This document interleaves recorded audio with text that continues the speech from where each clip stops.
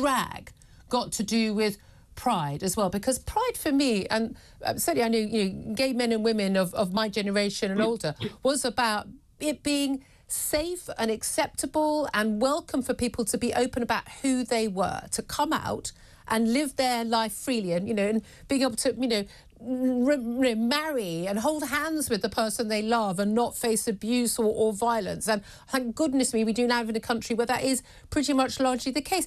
It had nothing whatsoever uh, to do with dressing up um, in a in a, a, a caricature of of female, you know, uh, drag, you know, with you know fake boobs and nails and hair. What what has that got to do with gay pride?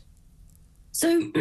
drag is traditionally an art form that is uh, usually celebrated in LGBTQ plus communities, and there is such a clear link to drag and gay pride or